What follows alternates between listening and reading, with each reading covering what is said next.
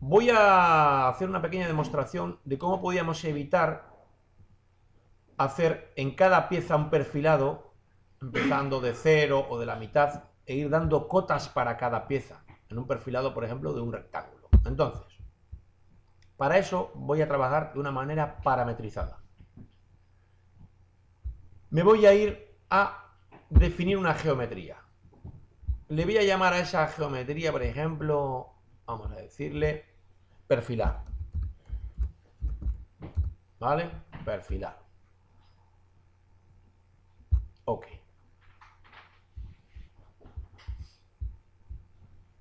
Empiezo desde el punto, por ejemplo, 0, 0, en esta vez, para sea un tutorial sencillito, empezamos desde el 0, 0, para que sea más coherente, más fácil de, de entender. Bueno, 0, 0.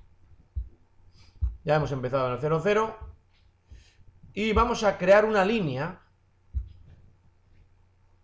dado el punto final. Y en vez de poner en este caso en la longitud que tiene 800, por ejemplo, el tablero, lo que vamos a poner es LPX, que es, quiere decir la longitud total que tiene X. Da igual el tablero, si es de 1000, si es de 500, si es de 800, él va a hacer hasta el final de X. Longitud total, perdón, he puesto Z ahí, ¿verdad? L es X. Miradín con esas cositas.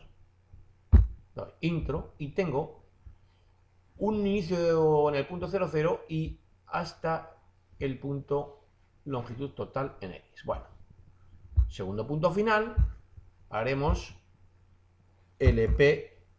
LPX, longitud total en X, y LPI, longitud total en Y. Lo mismo digo, Aquí he dado OLP. Debo tener los dedos un poquito hinchados hoy. Adelante con ello. Y hemos bajado hasta abajo, ¿verdad? Estamos a X total e Y total. Bueno, seguimos haciendo línea para cerrar. Y nos vamos a LP, a X0 y LPI. ¿verdad? Y estamos por aquí ya, aquí se ve en verde. Y ahora para cerrar iríamos al punto 0, 0. 0, 0. Se acabó. Ya tenemos cerrada la, la geometría. Una geometría que vale para cualquier pieza. De hecho, ahora vamos a, en vez de 800 por 500, vamos a hacer una de, que se vea claramente que es diferente, por ejemplo, de 1000 por 400. Mm, ¿Vale? Entonces, automáticamente se adaptará efectivamente la geometría de perfilado, se adapta a la pieza nueva que vamos a fabricar. No tendríamos que programar otra vez dándole x500, x tal, ¿vale? Y ahora vamos a ver si logramos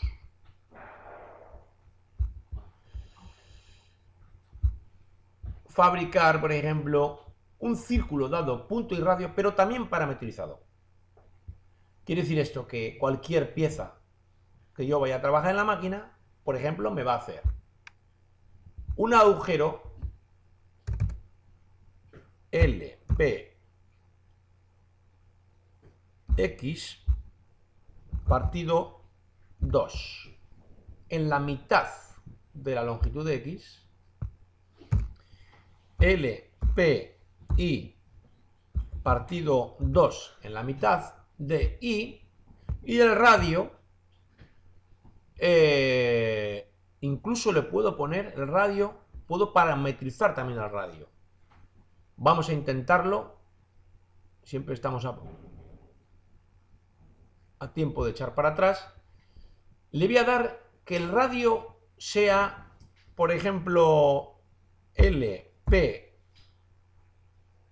X partido 4. Mm, ¿Comprendéis? Vamos a ver. LPX partido 4. Es muy grande. en el dibujito LPX partido 8. ¿Vale? La longitud de X, el radio sería dividido entre 8. ¿Comprendido? Bueno, y verifico. Aquí está. Digamos que este, ahora, si la pieza tenía 1000, dividimos 1000 entre 8 y ese es el radio que tiene. ¿Vale? Voy a hacer ahora, por ejemplo, una de 800, ¿verdad? Si le doy en X 800, ¿el radio cuánto será? 10. ¿Vale? Cambio la pieza y efectivamente me lo hace más chiquito. Y me lo hace de radio 10. ¿Por qué? Porque esto tiene 800 y le he dicho que el radio sea la longitud de X, la total, entre 8. Y con estas dos parametrizaciones de geometría, una externa y una, por ejemplo, eh, un pequeño círculo, zanjamos el tutorial inicial de parametrización.